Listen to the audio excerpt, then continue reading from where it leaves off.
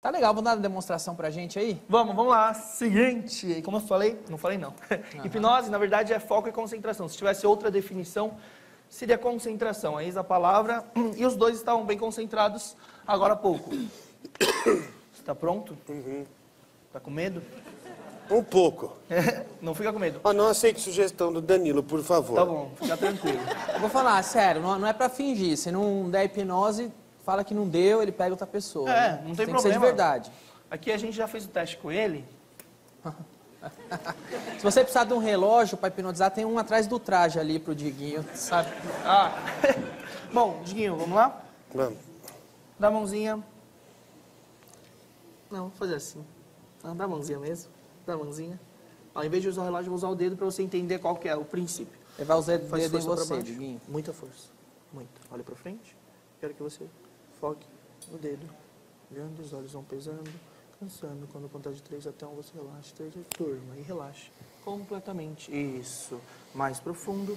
Cinco, quatro, três, dois e um. Isso. Muito bem. A partir de agora, todo mundo, todo mundo aqui está pelado. Todo mundo está pelado e está jorrando, jorrando leite do seu peito.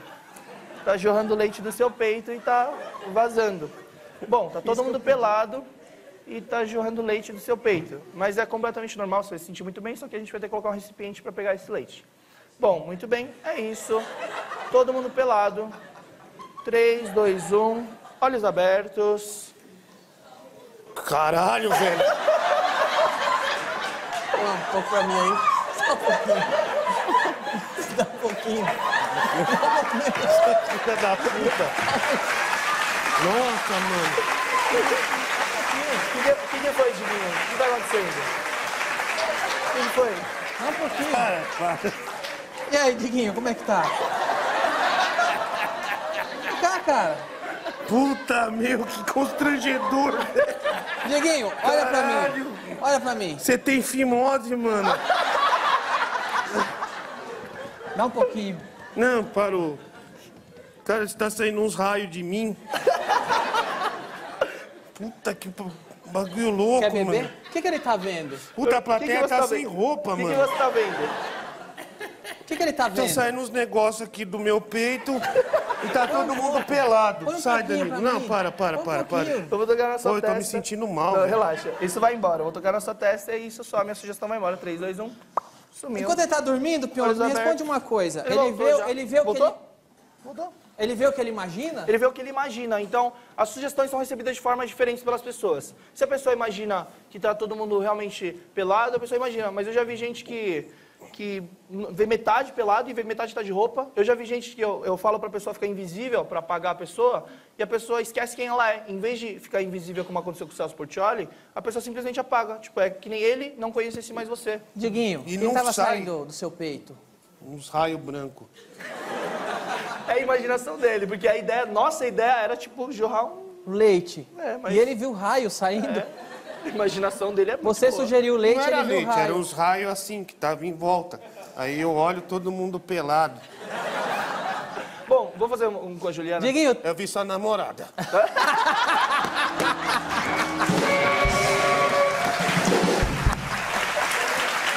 Desculpa, mas eu fiquei olhando pra cá. vamos pra Juliana? Vamos lá, Juliana. Juliana, relaxa, não fica nervosa. É que ela ficou muito chocada porque ela falou, putz, o negócio é de verdade. Não, mas a Ele fez comigo, eu sensação caí, eu fiquei muito é apavorada. espetacular. Parece que você tá num sono. Não acordei tipo um atleta, ó. Tô muito disposto. Muito. A sensação quando você olha pro seu, pra sua teta tá saindo alguma coisa dela. Mas não é da teta, é do terno. É que eu Tinha falei, raios, eu falei do Tipo do Dragon falei Ball. do peito, eu Goku. tinha falado teta, eu esqueci de falar teta. Bom, você vê, é literalmente, a mente leva literalmente o que eu falo. Então, Ju, seguinte, dá o bracinho, dá, dá a mãozinha, faz força pra baixo, faz força, muita força.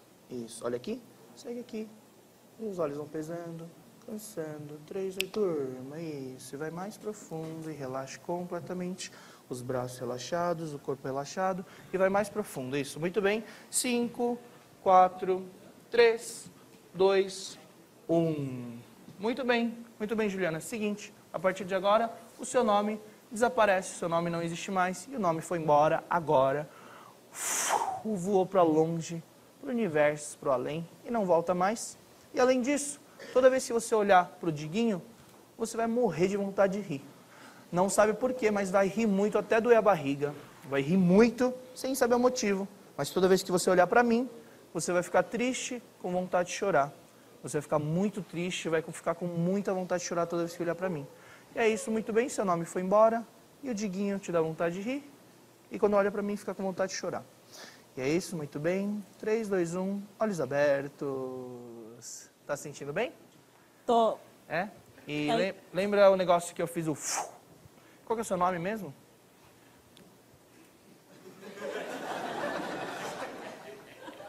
Ei, Juliana, sabe com quem eu tô falando? Como você chama? Lia. Como? Como você chama? Ai, isso me dá medo. Ô, Juliana, como você chama? Esse nome que você falou. Aí, olha pro Diguinho. Olha pro Diguinho. Olha pro Diguinho Eu ali. tô- Olha, olha pro... Olha lá. É que naturalmente ele já dá. Juliana, olha pra mim. Tá se sentindo bem? Tá tudo bem? Tá se sentindo bem? É que então, tá esquisito, né? O que que tá sentindo? Olha pra mim, Juliana. Tá tudo bem? Tá. Não, olha pra mim. É que ele, ele tá meio sombrio. Olha o Diguinho. Então, me dá ansiedade isso, eu tô com medo. Relaxa, Tem, olha só. tem como, por Isso é exemplo... uma fraqueza nossa, eu tô me sentindo Não, mal. não, não é uma fraqueza. É, como eu falei, o subconsciente recebe a sugestão e vira verdade. Olha só, Juliana, eu vou tocar na sua testa, a sugestão vai embora. 3, 2, Ô, ô 1. Pyongyi, é qual que é- Embora. por que, que eles são mais fáceis de hipnotizar aqui? A questão não é fácil. Como a gente já... com banho? A cabeça deles, Tem a cabeça deles é fraca? Não é isso, não existe isso, Danilo. É, a, a questão é, como eu falei, a pessoa tem que estar predisposta, a pessoa tem que querer ser hipnotizada, porque essa experiência pode ser divertida, existe hipnose para entretenimento, mas como eu falei, para hipnoterapia é muito bom. Você consegue se auto-hipnotizar? Por exemplo, você vai transar com sua namorada, você imagina a Charlize Theron. Eu não faço isso.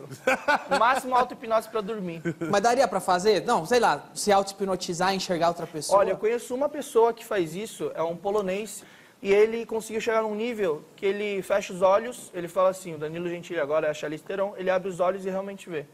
Ele chegou num nível tipo X-Men mesmo. Que loucura, de auto-hipnose, cara. é. Eu não consigo fazer isso, mas ele realmente consegue, e ele vai vir dar um workshop em setembro também. Legal, vai ser um prazer recebê-lo. Agora, pra gente Ô, finalizar, Danilo, só. Que é? Falando sério mesmo, agora é sério. Eu vi isso na televisão, falava, pô, puta de uma enganação. E eu tô me sentindo mal porque eu caí nessa, entendeu? não é de cair. Não, não, eu fui hipnotizado. Eu, e eu sempre achei que era uma puta mentira, tô falando sério mesmo. Tá, então vamos fazer a última com o Diguinho. Eu, eu- eu tenho uma sugestão pro Diguinho. Eu tenho uma sugestão pro Diguinho. dá a sua sugestão pro Diguinho aí, Murilo, pra gente finalizar. Então é o seguinte, a gente vai fazer essa última aqui. Diguinho, Você não consegue falar? A Juliana tá até agora, se conseguir falar o nome dela, tá falando. comigo. Não, aquela hora. Ah, aquela hora. E, aquela, e agora? É Juliana, né, irmão? É?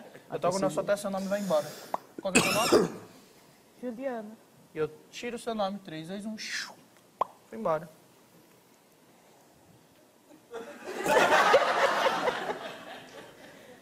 Juliana, como você chama? Juliana, não, é que Ok. agora eu acho que eu não tô concentrada. mas Ok, beleza. Aquela hora funcionou Ficou mesmo. nervosa. Vai lá, o Diguinho. Murilo te deu uma sugestão Deu uma sugestão legal. Vamos lá. Diguinho, seguinte, se concentra.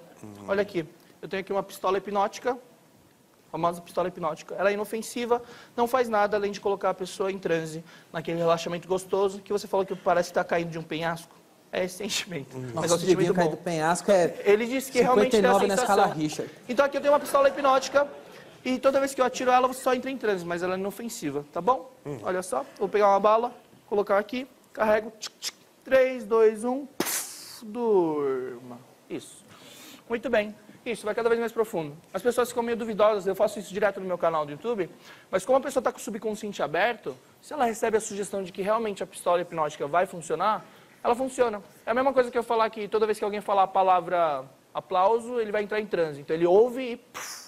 mas isso porque recebe a sugestão e o subconsciente está aberto. Seguinte, Dinho, a partir de agora, tem uma pessoa é, do seu lado, do seu lado, no sofá, do seu lado. A gente convidou ele porque ele estava com um pouquinho de tempo livre, ele veio aqui. E do seu lado esquerdo está o Silvio Santos. O Silvio Santos veio aqui visitar a gente e está do seu lado esquerdo. Você vai ficar muito feliz de conhecer ele, porque você admira muito ele, você vai ficar muito feliz. E o Silvio Santos. o rosto, a voz, o cabelo, a peruca, tudo, é- tudo é igual. E o Silvio Santos está do seu lado esquerdo. Muito bem, você vai ficar muito feliz e vai poder abraçar. E, e tirar foto não pode, tá? Muito bem. 3, 2, 1, olhos abertos. Olha para mim, tá sentindo bem? Voltou aquele estado de relaxamento gostoso? Diguinho, olha quem veio no nosso programa hoje. Olha quem tá no nosso sofá. Caralho, velho. Você acredita, cara? Diguinho! Porra, Ele falou que nunca ia dar entrevista e tá aqui hoje Parabéns, no nosso Diguinho. sofá. Gosto muito do seu trabalho, tá? De parabéns, tá bom? Vou aqui te dar os parabéns pessoalmente, porque você está desenvolvendo um trabalho excelente aqui no SBT. Parabéns.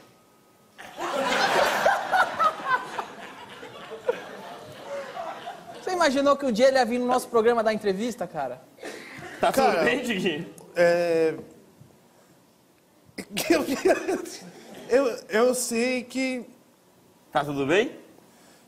Eu sei que você não é real, mas... mas Diguinho, eu, eu- eu posso te demitir, Diguinho. Quem que você tá vendo? assim não Quem sou que você tá verdade? vendo? tô vendo o Silvio Santos. E como assim não é ele? Se você tá vendo o Silvio, como não é ele? Ô, Diguinho, Diguinho, Como não? que Puta cor que que é a roupa do. Silvio? Que cor que o... que, que o Silvio Santos tá vestindo hoje? Conta pra gente. Terno azul marinho, calça azul marinho, gravata vermelha. Isso mesmo. Exatamente. Ganhou um milhão de reais. Puta que pariu. O que, você quer? Vai lá. O que, você quer falar pro Silvio Santos antes dele ir embora? Quer, quer que o programa seja seu? Você apresenta o programa no Fala Fala alguma quiser, coisa, cara. elefante.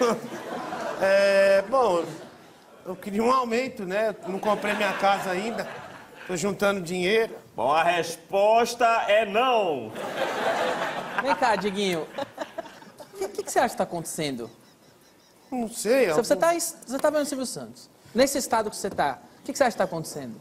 Gente tá no de noite e o Silvio Santos em todo o meu E se lado. por acaso o Silvio Santos rebolar pra você? Isso parece bom pra você, Maori? Caralho, velho.